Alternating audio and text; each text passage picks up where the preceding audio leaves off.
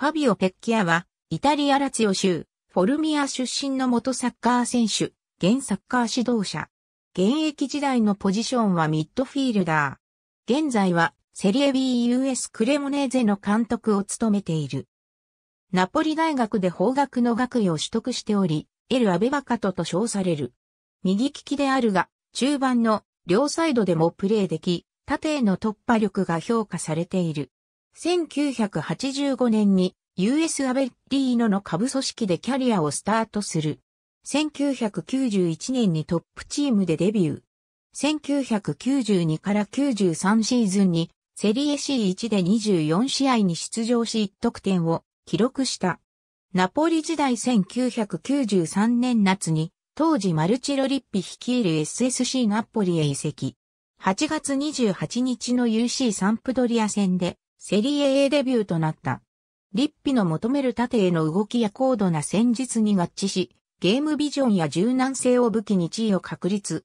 加入者年度で33試合4得点を記録し、クラブの UEFA カップ出場権獲得に貢献した。1996から97シーズンからは、長期離脱したロベルト・ボルディンに代わり、23歳でキャプテンを務める。ルイジ・シモーニ監督の下で、リーグ前半戦を2位で折り返し、コッパイタリアでも決勝に進出。ビチェンツァカルチョとのファーストレグではこの試合唯一となるゴールを挙げ勝利に貢献するが、セカンドレグでは0から3で逆転負けを喫し体感を逃した。クラブはここ数年間で財政難に陥っており、1997年夏にユベントス FC へ100億リラで売却された。ユベントスではリッピと再会し、1997から98シーズンはリーグ戦21試合1得点を記録。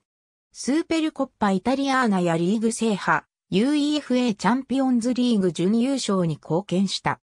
しかし当時クラブの中盤にはジネディーヌ時短がおり、シーズン途中にはエドガー・ダービッツが加入したため、翌シーズンから UC サンプドリアへ移籍。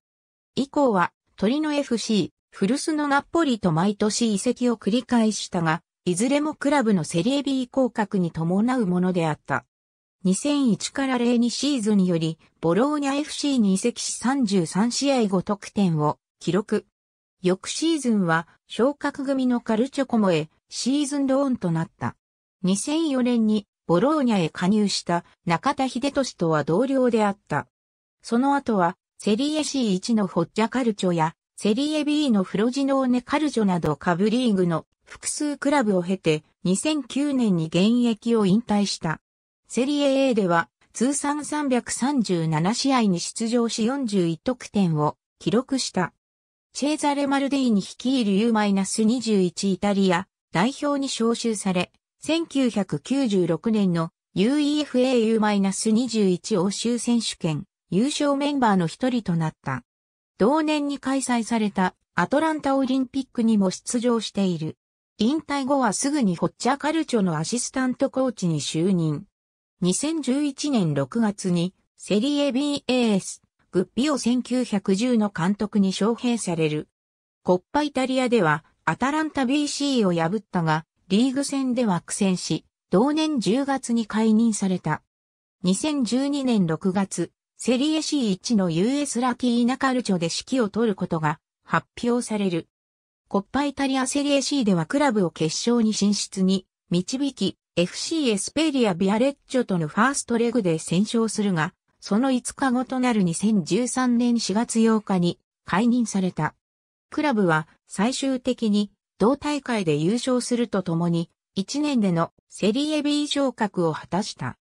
2013から14シーズンからはラファエル・ベニテスの下 SSC ナポリのアシスタントコーチに就任。2015年にはベニテスと共にレアル・マドリード、翌年にはニューカッスル・ユナイテッド FC のアシスタントコーチを歴任。2016から17シーズンよりエラスベローナ FC の監督に就任する。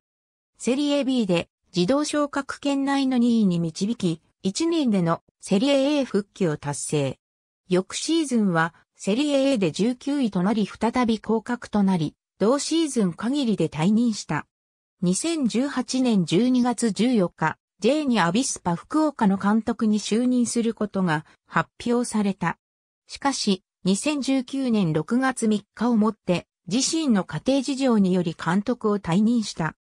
2019年6月29日、選手時代に所属していたユベントス FC の U-23 チームで指揮を取ることが発表された。12月には、福岡時代に、講師ともに信頼関係があった三国ケネディエブスを練習生として日本から呼び出した。